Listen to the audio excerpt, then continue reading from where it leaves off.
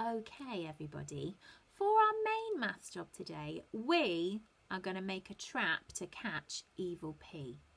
We're going to be Supertato sidekicks and we're going to use all of our problem solving and all of our mathsy knowledge to help us make a fabulous trap to catch that sneaky Pea and to stop him from getting up to mischief.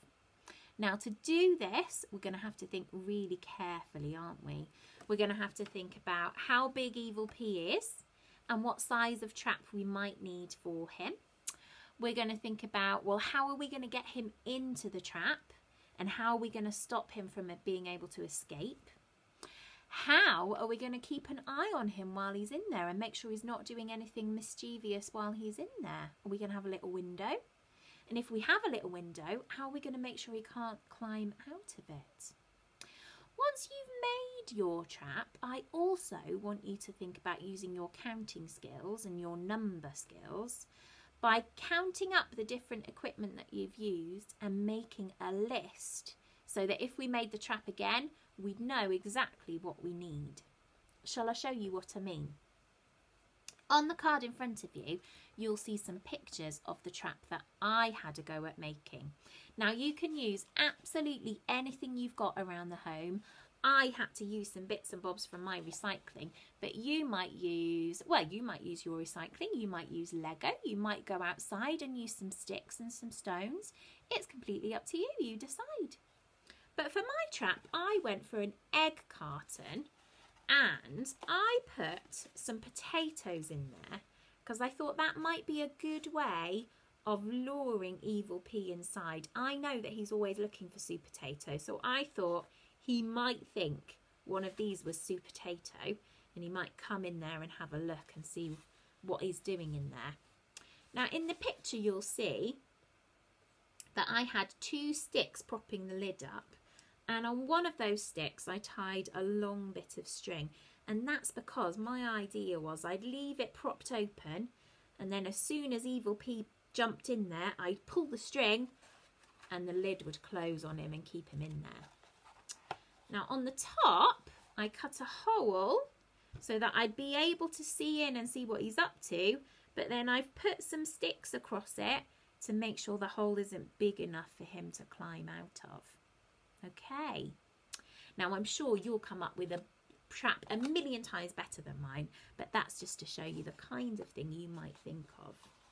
Let me show you what I mean about writing down what you've used. So, I've used one egg carton, so I'm going to practice my numbers by writing it down.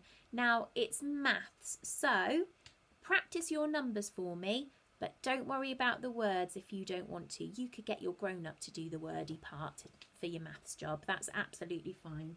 Or, of course, if you want to write both, you can. So, one, one egg carton. Okay? So I've used my shape and space and problem solving knowledge to make my trap and now I'm using my number knowledge to help me write down what I've used. I had one long bit of string. So I'm going to write that down. One long piece of string. Okay. I had two potatoes inside to act as my bait two potatoes. And I had two sticks holding it up on the at the front, didn't I? And then I've got four here. Oh, can anyone remember what was four and two? Four and two combined to make six. Six sticks. Okay. And there we go. That's my mathsy thinking for today. I've used my knowledge to make the trap and then I've used my numbers to help me write down what I've used. Now, you might decide to do a trap like the one Super Potato uses in the story. Can you remember? What does he use in the story? He uses jelly, doesn't he? Now, why don't you have a little look in your freezer? See if you've got any peas in there and then see if you can make a jelly with a pea inside it. Now, making jelly uses lots of mathsy skills because you have to measure and pour and think about the size that, of the moulds that you're going to put your jelly in to make it. So if you want to make a jelly trap, that would be a really good use of your math skills today as well. It's completely up to you.